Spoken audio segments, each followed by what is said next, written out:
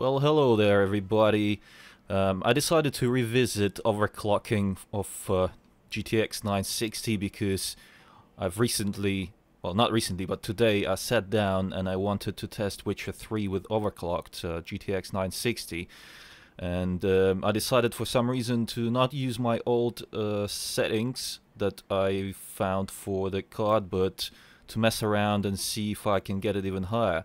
And I was surprised. I mean, you'd be surprised uh, what uh, updates, driver updates, uh, can actually do. So I'll tell you now. Uh, I was not last time I've done this. I was not able to go anywhere past 140 plus 140 on the core mark without having crashes without increasing the voltage that is. And previously the voltage was locked anyway on my card but uh, that's unlocked now. So um, I'm not going to use voltage for this overclock though but I will explain to you exactly what the voltage is for. Uh, basically it's when you reach your maximum on the core and the memory uh, that's the core voltage. So once you reach your maximum on the core and you get start getting visual artifacts and uh, anything unstable basically uh, if there are graphics anomalies and crashes then you can go ahead and increase the voltage by 5 or 10 points uh, to start to try and make it stable again. It's uh, it's pretty safe to do that. I mean it only goes uh, up by 50 millivolts. That's like nothing you know. Um, but uh, do bear in mind that as you increase your voltage, uh, the card starts consuming more power and it will put out more heat. Not considerably more because uh, I've I've done like plus 20 uh, previously on this card and it was set on auto fan and it wouldn't go any anywhere higher than 66% with fans running at less than 40%. Uh, by the way, it's a KFA 2 GTX 960 EXOC Black Edition card, so just for anyone who's wondering. And uh, any programs that you can see here, me, uh, you can see me using, you can get them for free. I will put the links in the description below this video and uh, basically well basically this is let me show you. This is the setup uh, that I've uh, that I found without increasing the core voltage and it works absolutely fine. So that's plus 500 on the memory plus 160 on the core. So that gives you 8 gigahertz of memory speed and uh, over 1.6 gigahertz on the core when it boosts. So, you need MSI Afterburner and Unigine Heaven benchmark to stress your GPU. Also, you want to set up your statistics, your monitoring statistics like so, temperature, core, memory, and power limits. I don't know what's up with power limit, but it seems to be not working. So I had to just increase it to the maximum. But your yours will likely work, so you have to monitor it. And if it goes above 100% or close to 100%, that's when you start increasing your power limit as well. Or you can just increase your power limit straight away, and then just uh, if you want to tweak it later on, uh, you can do that. But it's no big deal because the power uh, for the power limit, the card is not going to draw more power than it needs anyway, so that's absolutely fine. So what you do is, uh, first, uh, before you uh, continue, you can, before you begin overclocking, you can just um, run the benchmark and take a note of uh, what's the frame rate that you're getting, the average, the minimum, the maximum, and then after you've done overclocking, run the test again and see uh, how how much performance you have gained. You can use this Heaven benchmark for that anyways. So let's go ahead and set up the benchmark. So I've set it up to high, normal on tessellation and 2x uh, AA and I've removed full screen mode because we want to run this in windowed mode.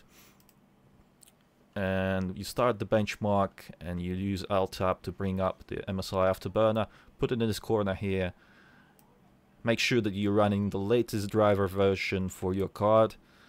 As I said, that made big difference for me because I've done it, uh, the overclock a very long time ago and it, it helps. It helps to have up-to-date drivers to achieve uh, higher overclocks. So as you can see now straight away, uh, it's 1527, right? But I will show you from the beginning what I've done.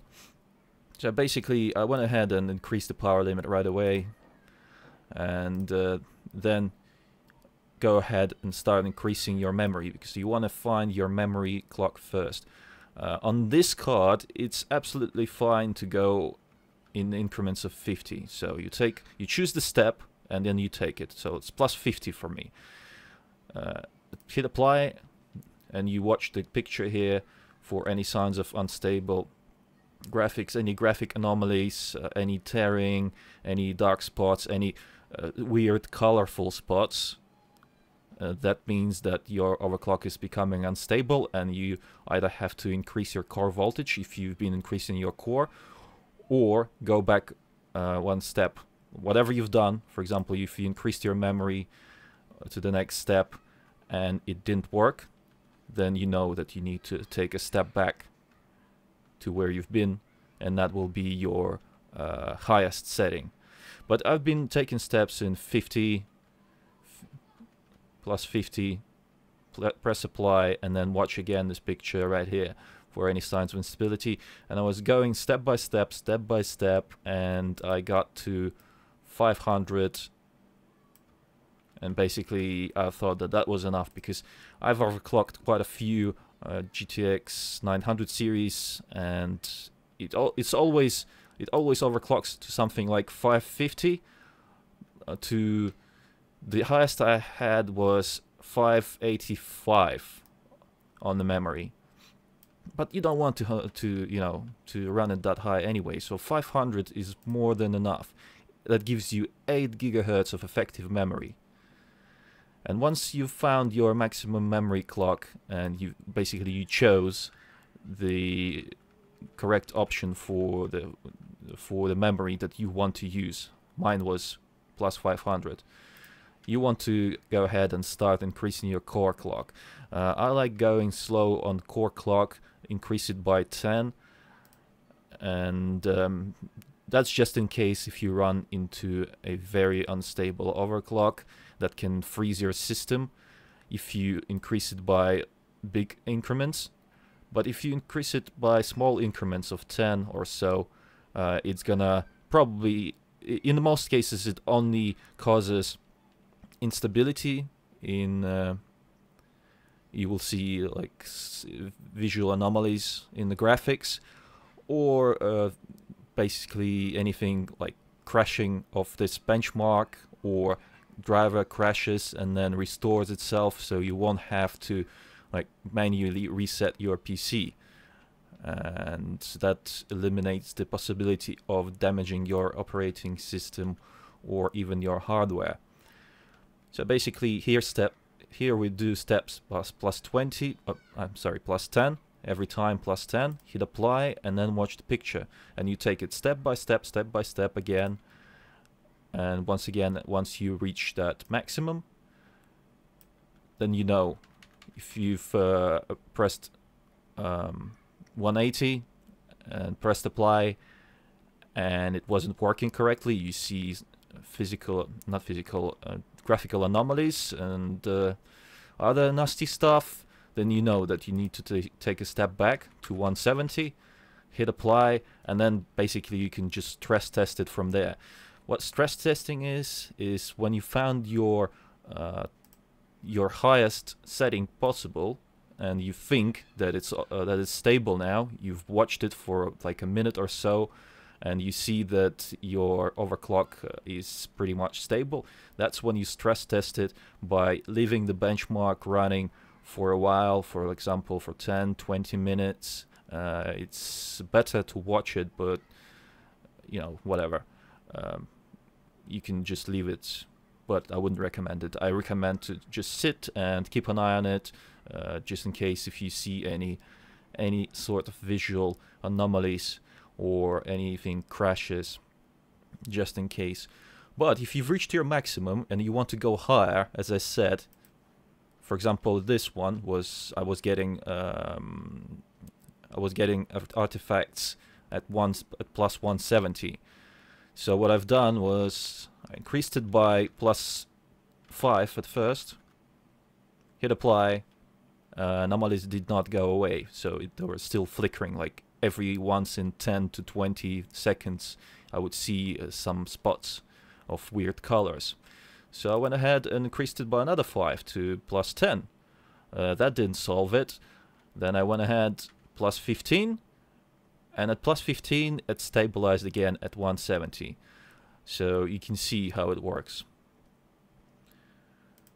But that's basically it. Once you've stress tested your uh, your overclock in the benchmark, what you want to do next is uh, test it in games because even though in the benchmark it was absolutely fine, uh, you would still you still can encounter problems in the game.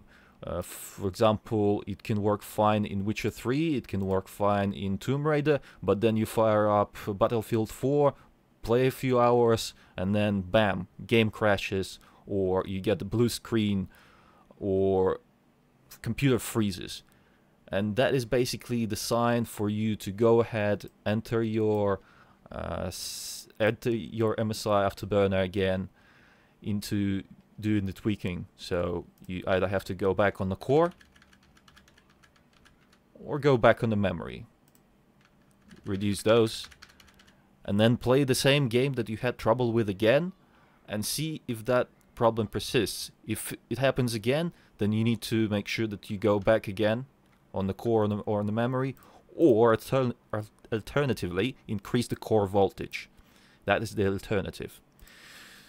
So basically that is it. And if you have a good um, aftermarket card cooler like I have with two fans, it doesn't matter. You don't have to set up this user-defined profile uh, for fans.